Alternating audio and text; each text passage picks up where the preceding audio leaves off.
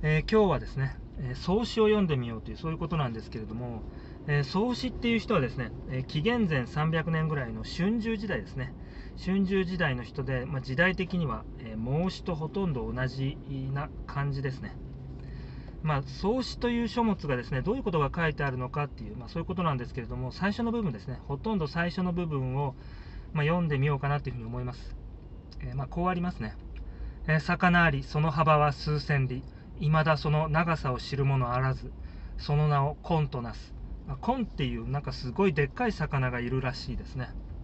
えー、鳥鳥ありその名を鳳となす。背は泰山のごとく、えー、翼は水天の雲のごとし、えー、このね、えー、このですねコンっていう魚がえー、鳳っていう、まあ、鳥にこう姿を変えるんですよね。えー、そしてですね、えー、不要に羽打ち、陽隠して登ること9万里、え、運気を超え晴天を置いてしかる後に南を測りまさに南冥に行かんとするなり、え、不要に羽打ちてですね陽隠して登ること9万里、え、この鳳っていう鳥が陽隠して登ること陽隠っていうのは、え螺旋を切って登るっていう、えそういう意味で、えこの鳳っていう鳥が、え螺旋を切って登ること9万里っていう、え9万里っていうとですね1里大体500メートルって言われているんで、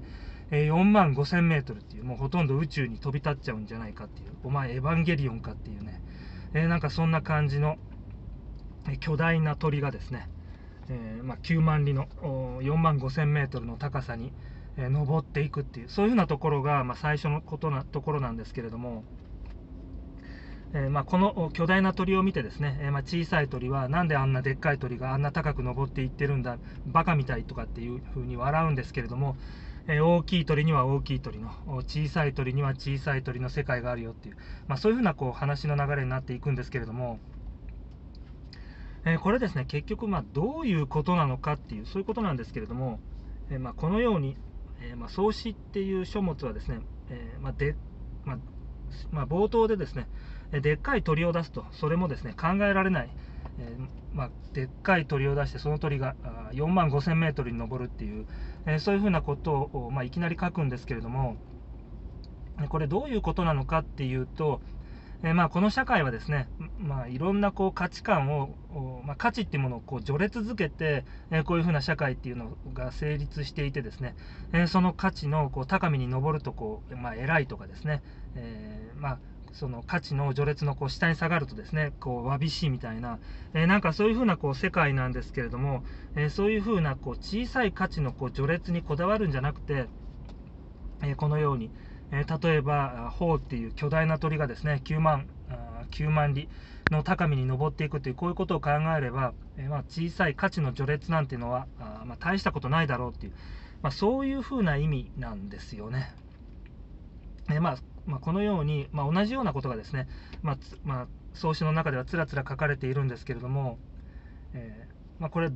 まあ、なんなぜこのようなことが書かれているのかっていうとですね、まあ、これは、ま儒教に、えー、ま対応してるっていうか、えー、ま孔子とかですね孟子がこう打ち立てようとしている儒教っていうものが、えま価値の序列っていうものをこう形成していこうっていう、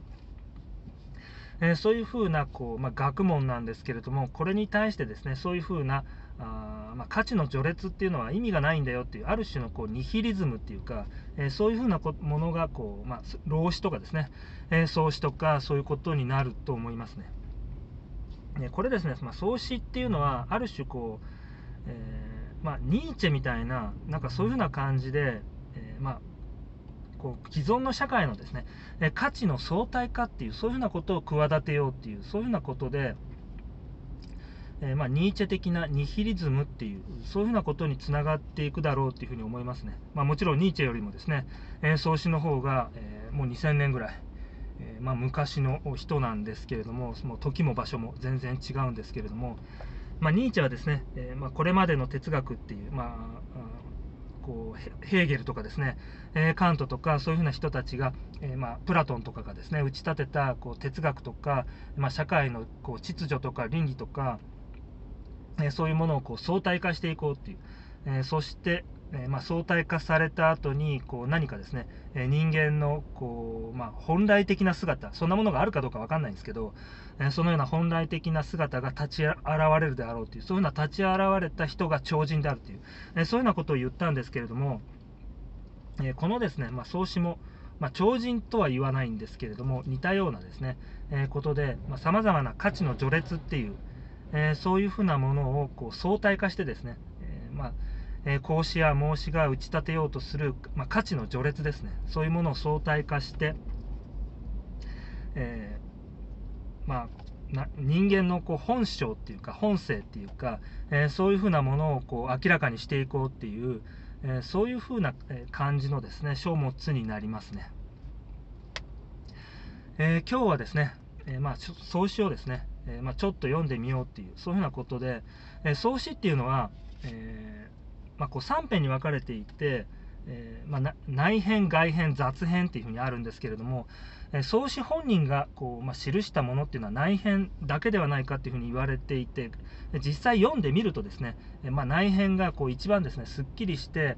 えー、まあなんかこう清らかっていうか、えまあ、雑味がないっていうか、えなんかそんな感じで、えまあ、外編雑編っていうふうにいくに従って、えこうちょっとこうまあ具体的に言うとですね孔子の悪口を言ってみたりとか、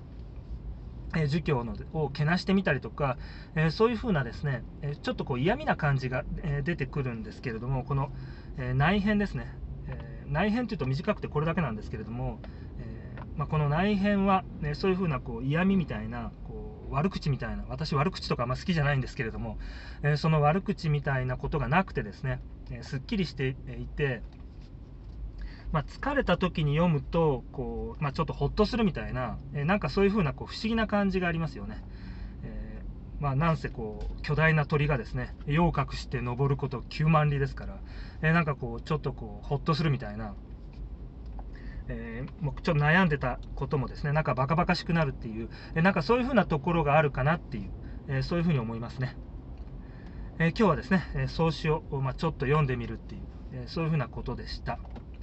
えー、今日の動画は以上になります。